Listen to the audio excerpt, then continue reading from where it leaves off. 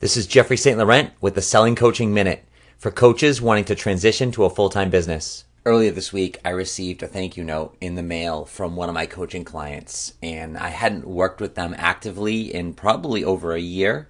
And they sent me a handwritten thank you note, basically thanking me for all that I had done with them and for them, and how gracious they were, and all of the updates in terms of what they had accomplished and what they had uh, gone forth and, and done over the past year and uh, it was just so cool reading it. And, and, honestly, my eyes were watering as I was reading it. I read it a few times, and not only just the, taking the time to write a handwritten thank you note, which nowadays is is like a gold standard, but more importantly, just sharing everything that that they did with me, and knowing this is the true reason why I do what I do.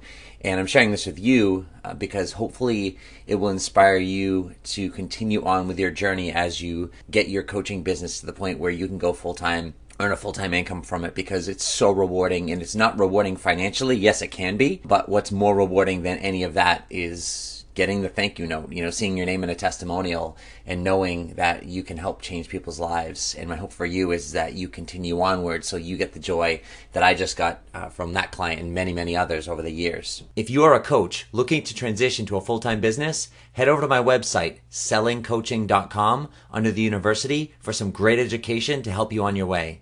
That's sellingcoaching.com.